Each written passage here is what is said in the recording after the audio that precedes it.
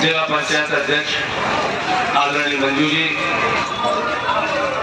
हरद्वार दुबे जी, पूर्व मंत्री और मेरे छोटे भाई राम शंकर गुजर जी, रानी साहिबा चली गई, महारानी शिखा सिंह जी, डॉक्टर राजेंद्र सिंह जी, सतवीर सिंह भदौरिया जी लाल सिंह चौहान जी, महेश कथेरिया जी शिव कुमार शर्मा जी शैवीर सिंह जी भाव सिंह जी, गणेश सिंह जी राम अवतार वर्मा जी,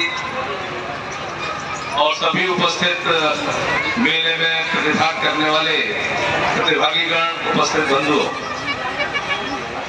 सबसे पहले मैं आपको इस ऐतिहासिक मेले के हर साल के आयोजन करने पर बधाई देता हूँ और शुभकामनाएँ देना चाहता हूँ। मित्रों, यह एक पावन भूमि है। यह शौर्य की भूमि है। यह अध्यात्म की भूमि है और यह भूमि है जहाँ भगवान शंकर स्वयं विराजित होते हैं, जहाँ यमुना मैया उनके चरण चुंबन करके वापस लौटती है, ऐसी भूमि है। और डॉक्टर राजेंद्र सिंह जी ने, मंजू जी ने मुझे आमंत्रित किया उसके लिए मैं इनका आभार करना चाहता हूँ। एक पंथ दो काज। मैंने मैराथन दौड़ को भी देखा। आप लोगों के दर्शन भी हुए। और महादेव बाबा की पूजन अर्चन भी करने का सौभाग्य मिला।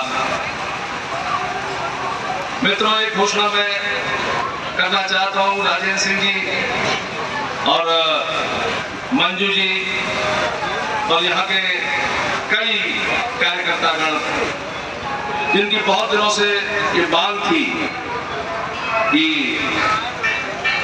अटल बिहारी वाजपेयी जी की भूमि पर एक महाविद्यालय बने, जिससे यहाँ पर शिक्षा का प्रसार हो सके। शायद एक हफ़्ता भी नहीं हुआ है, मैं उस फ़ाइल पर दस्तखत करके आया हूँ, जिस पर यहाँ पर घोषणा हुई है। यहाँ पर एक महाविद्यालय बनेगा।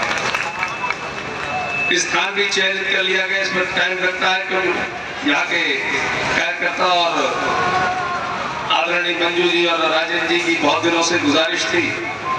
एक मांग थी। इनकी आदेश मेरे लिए सर्वोपरि था। और अटल बिहारी वाजपेयी जहाँ जिस भूमि से जुड़े हो, उनके नाम पर यहाँ पर विद्यालय हो अब मेरे मुँह से विश्व